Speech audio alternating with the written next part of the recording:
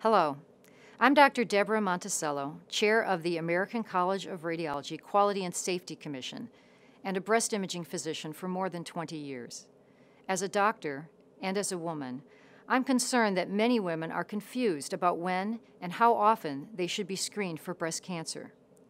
Research reports, often by individuals not routinely involved in breast cancer care, add to the confusion. What I can assure you is that every major medical organization that deals directly with breast cancer recommends yearly mammography for all women starting at age 40.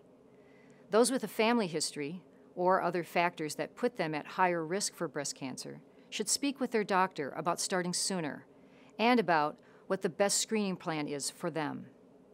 Breast cancer experts continue to recommend annual mammograms because, frankly, this is the best way to save lives. Mammography has helped reduce breast cancer deaths by 30% since 1990.